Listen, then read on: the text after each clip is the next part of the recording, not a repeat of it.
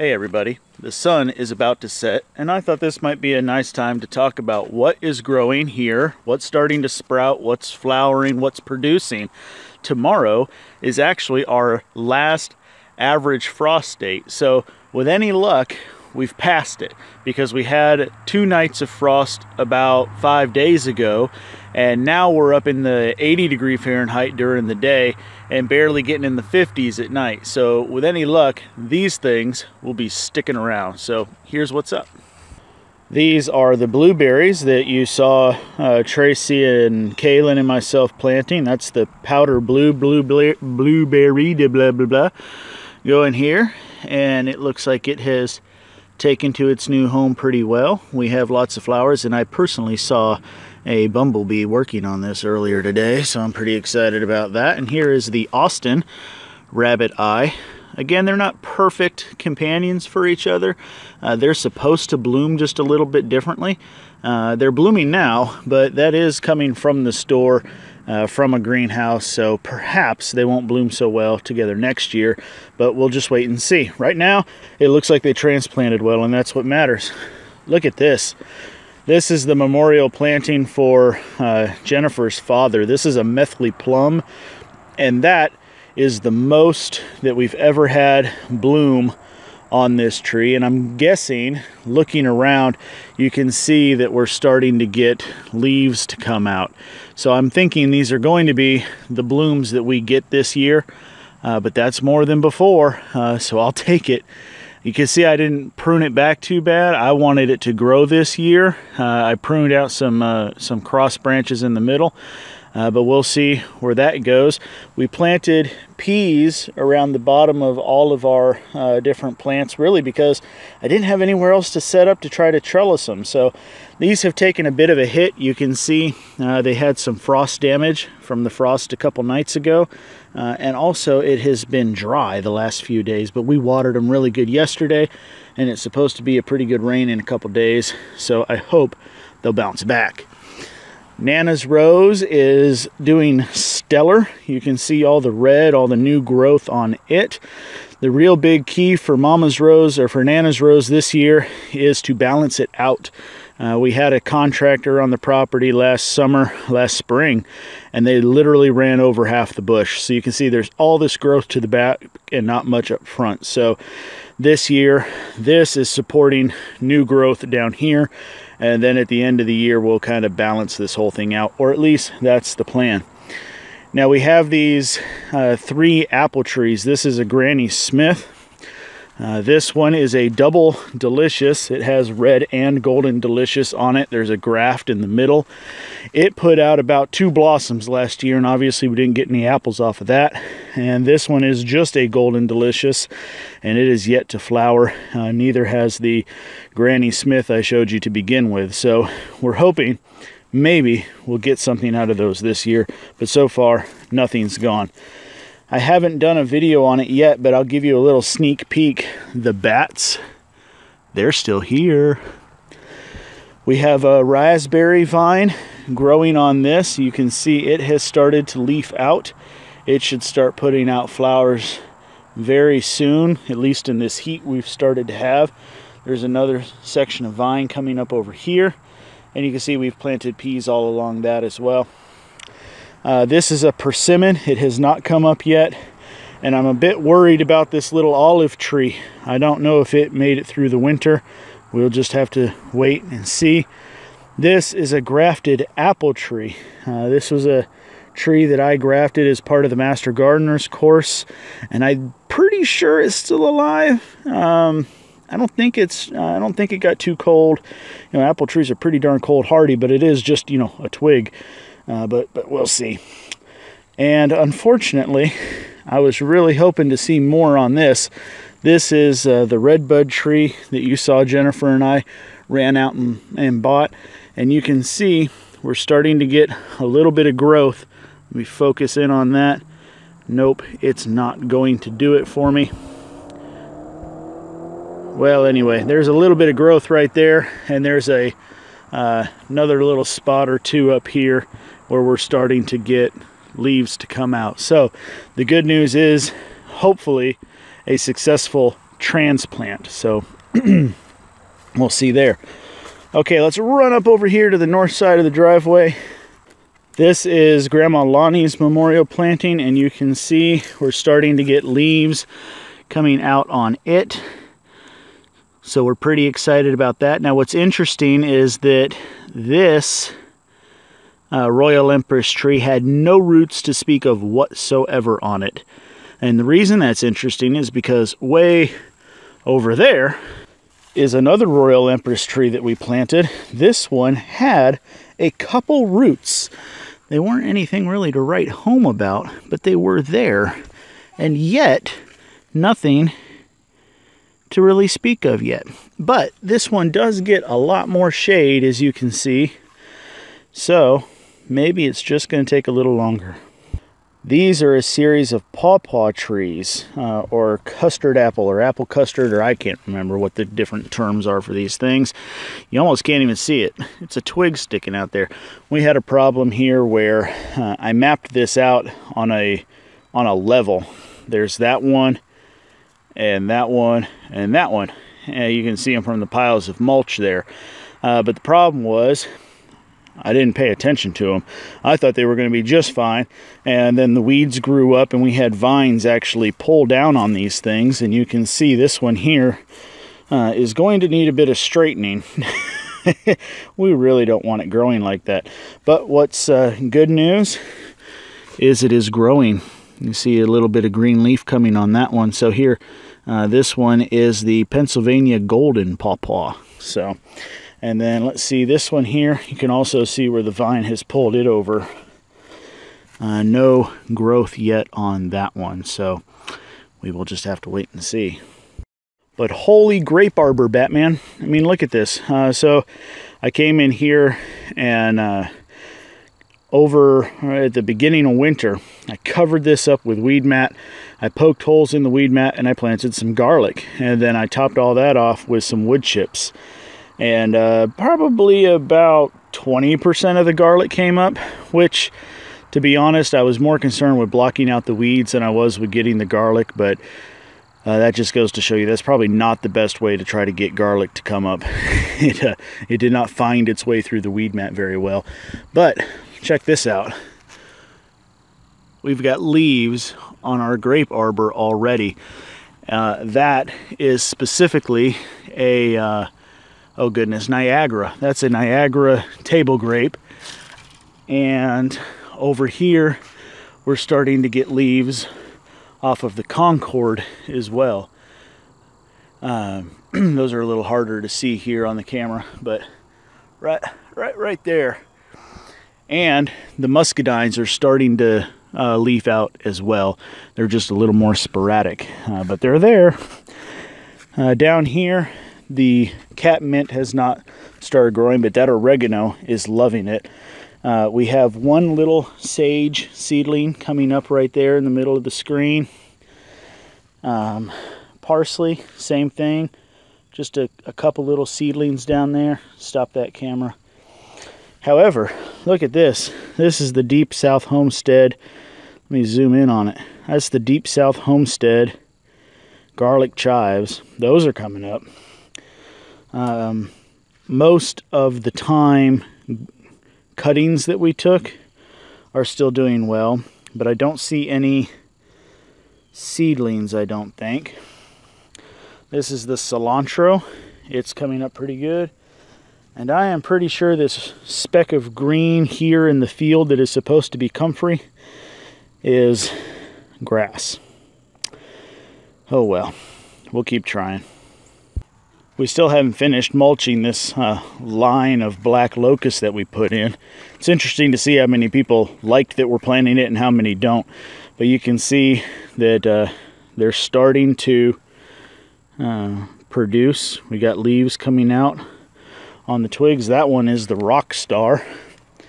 Uh, but it's it's always interesting to me because this next one was the only one that had green on it when we planted it, and it's doing well. Uh, I mean, there, there's nothing to be shy about there. But the other one uh, is beating it. And it appeared to be more dormant when we started. Now, the two on the ends here, well, this one's starting to come out a little bit too. Uh, but the ones on the end get the most shade, so I guess that's why they're going to take a little bit longer. Hopefully we can still try to get uniform growth in the long run. This is that area that was supposed to be a uh, wildflower garden. Yeah, the natives are kind of winning on us here. Uh, but I want to show you this. This is another Methley plum. Check that out. Now, Methley plums are quote unquote self-pollinating, but quote unquote do better with multiple plantings of the same tree. So we will see how that goes. Uh, you can tell this is not a very healthy specimen, uh, but we will see. We will see. This was a bonfire peach, which is more of a something pretty to look at, and I think it died. But what you can see happening over here, if you're familiar with the plant, are the gladiolas. Um, there's a couple coming up there. Part of this line is coming up here. And even further down the hill are some. And if you go back and look, you'll notice there were some next to uh, Nana's rose too that I forgot to show you. So uh, maybe we'll get a little bit more of this to come up, even if we do have a dog bomb on the video. All right, so this is where the lime and lemon tree are that we don't know. We're, we're probably going to go ahead and replace those because they are supposed to be grafted and we think they died all the way back down to the roots a couple years ago. They ought to have start put it off, putting off uh, flowers. Uh, at least we would have expected it and they're not. So we're not sure about that. But you can see that the uh, daffodils are liking this area and those uh, pansies are enjoying it as well. And all of our mums, there's uh, one on the far left there, one in the middle, and then there's just a little tiny baby one that still lived over on this side. Uh, we're kind of happy that those are going to pull through. Some a little better than others. So this is kind of a disappointing patch. This is supposed to be a whole bunch of dill. And I think that is all I have to show for it. It all started coming up and then we had a frost and that one little section managed to not get covered. That was a real shame. So probably a busted year on dill for me. Uh, but look at Mama's strawberry beds. I'm just going to walk this real nice and slow. Let you take a look at them. Uh, some of them need to be harvested, but Mama's been down with a migraine for the last two days. And uh, Daddy's been doing all the parenting stuff and I just hadn't bothered. But we have been out here eating them, juicing them, snacking on them, slicing them up and adding them on top of pancakes, all sorts of fun things like that. So, uh, very happy with how this raised bed garden is producing. You want some, don't you? Yeah, me too. The potato garden is doing pretty well you can see that the challenge we're having uh, is ununiform growth. So like these up here are only about an inch over, uh, an, an, inch tall, inch over the soil. Uh, but down here I'm going like almost two inches over the actual container. Uh, so I'm, I'm running into a difficult situation wondering how I'm going to backfill this. How do I decide when I'm going to fill in? Because even in the same situation, here I've got this big guy, but way down in there is, uh, well, you can't even see the thing. Well, there you go. Uh, just barely starting to sprout up. So I come out here probably every other day and rotate this container around to try to give it a different light exposure. But that's the challenge I'm running into. And my uh, purple potatoes haven't sprouted at all yet. So I'm really kind of I'm sad. The winter garden is nothing to look at. I want you to know that right now because it has been bug eaten and we have uh, not been harvesting on it in some time, but there it is. Uh, so we still have uh, collards growing up at the top. Uh, you can see the kohlrabi. This one is more just leaves, but this one's got a nice little three inch bulb coming on it. Uh, you can see we've had a couple things start going to seed. Oh, and it's too heavy for me to turn one-handed right now. Um, our pineberry is doing really well. Look at this. Look at this. I didn't know this. I just surprised myself right here making the video. An actual pineberry. That would be our very first ever pineberry. This is the second season for this plant. That's pretty exciting. That's pretty exciting. I can't wait to share that with Mama when she's feeling a little bit better. This is the third growth coming off this broccoli. That's why it looks so horrendous. It's been cut on so much, but look at it, still coming out. Uh, carrots, we've harvested some, but we're trying to let them plump up a little bit more before we harvest any others. They basically came out like baby carrots, but they were good and deep. Uh, really enjoying using these deep pockets uh, to make carrots. This is uh, parsley. It's doing really well. And then over here we have uh, some chard. Looks like my bib lettuce is going to bolt on me. Um, different kinds of kale, other collards, all growing. This kale did not do well. it, I don't, I, I forget which one that is. What one is that? I just wrote red kale, so I don't know if there's another variety besides just red kale, but it did not do well in our climate. I don't think it had anything to do with the container. Maybe bad seed, heck, who knows. Never mind the mop bucket, I ain't got no time to clean up before making a video, but here are the avocado trees. We've got two that are growing good and one that has died. I'll be calling the company uh, here probably tomorrow. Uh, I think I've completely given up hope that this is somehow going to bounce back and, uh, and let them know that sorry, we are two out of three. Refund or replace, and I hope that they replace it.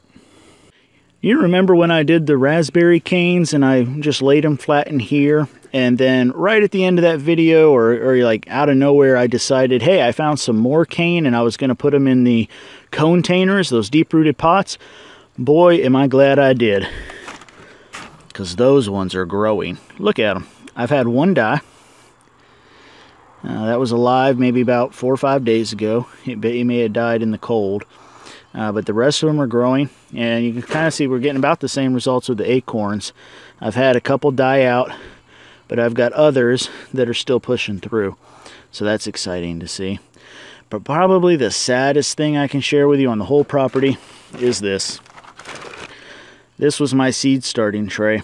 I had my uh, tomatoes that I got out of the seed carousel box from Deep South Homestead in there, my own tomatoes, my borage that's supposed to go into that sock, and all those kind of things. And the very first day it got 80 degrees, I forgot all about this, and they baked. I still had my lid right here sitting on top of them, and they just baked. Oh, that's a hard lesson to learn. And then if things couldn't get any worse, you remember what is supposed to be growing in here? Our Vardaman potato, our sweet potato. And I have got squat. I don't know if it's because the soil is staying too moist, if the soil is too heavy that it can't germinate or send up, um, oh goodness, I just totally lost it, send up draws or slips uh, from the sweet potato. I don't know what it is, but sweet potatoes are not going to be a thing this year. All right, last stop. We're back here at the fish pond. And I forgot to point out that the Egyptian walking onions, those were planted up there by that raspberry cane. So if you go back and check that out, those on either side uh, are also doing well and starting to put out a flower head. So that's kind of exciting. Uh, things back here are 90% uh, good. Uh, so we have some things that we planted last year, uh, like down here I've got creeping thyme uh, that are alive. Uh, it shouldn't be any bigger than that. It overwintered and now we're waiting for it to expand. but something you probably can't really make out was supposed to be some golden marjoram and I'm just not sure I'm just not sure if that's gonna live or not maybe there's enough there that it comes back. Here's hoping. Uh, but otherwise, we've got uh, another uh, mounding marjoram, oregano over here. Uh, and of course, you can see we have pansies around the place. Uh, this is chamomile, it's doing pretty well. Uh, I'm surprised I haven't yet seen our lemongrass pop back up. That should have overwintered just fine. Uh, so we'll see. Uh, that there is banana mint, our rosemary, and this is the coup de grace, Jennifer's peppermint. This is the first thyme we've had a peppermint actually live on the property. Every other time they've died. This one is overwintered. It has got itself good and settled in. And Jennifer should have peppermint forever now. And lastly, but not leastly, a little bit of time. And it's starting to flower. You gotta like that. They're such little pretty delicate things. Okay, well there you have it. I hope you enjoyed getting a little walkthrough. It would really help me out if you could comment down below and tell me what of all of that you are most interested in. Because when there's so many things, there's there's the fish pond, the raised beds, the fruit trees and the swales, um, just everything that I don't know sometimes. Uh, the grape arbor, uh, all the new trees. I, I, I don't know what to shoot a video of, and sometimes it feels like it's only fair to do a quick video like this, quick being that every plant only gets 10 seconds of fame. Um, because I don't want to put out a video every single day saying, here's the next tree, here's the next plant, here's the next flower. Uh, so I wonder if there's something in particular that you're the most interested in so that I can kind of focus my efforts and make sure that you guys are getting updates on the projects you care the most about. Now, if you like seeing everything and you like quick little videos like this, then hey, that's great. Let me know that too. Uh, but if there's things that you want to see more of more frequently, then hey, I need to know or I don't know. I don't know what I don't know. So let me know. And that's a lot of knowing. The more you know.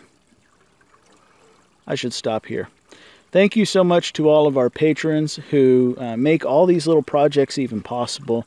And thanks to all of you who take the time out of your day to make our channel something special. Not just a place that houses hundreds and hundreds of videos, but also a place where we have a good community, where there's lots of comments and follow-up, good advice down in the comments for all of the viewers to come in and not just see what I'm doing, but also follow up and learn what you're doing as well.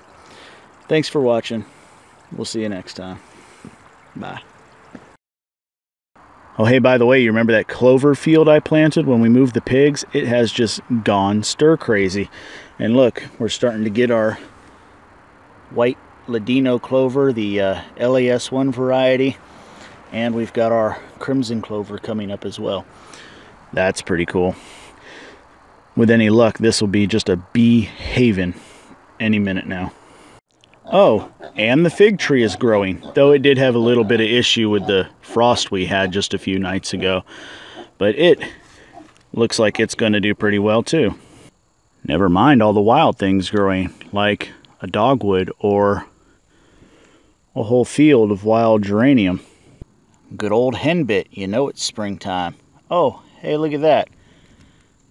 Chickweed. Plantago. Plantago, another kind. Defying death by power company. Yes, literally, they came in here to clear out under the lines and literally ran over elderberry. It's pretty cool. We'll be taking some clippings off of this and replanting some uh, shrubs elsewhere because this is just disgraceful. Okay, it's getting late. I really should stop doing this. You know, unless, of course, I run across our wild peach. Those petals have been spent, and this one's just about to bloom. That's a wild peach. We have no idea who dropped a pit out when. And it is not liking where it's growing, but it's growing. Okay, seriously.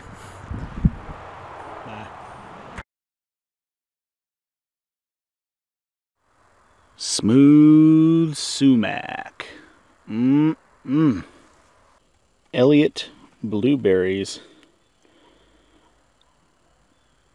Those were flowers last you saw them.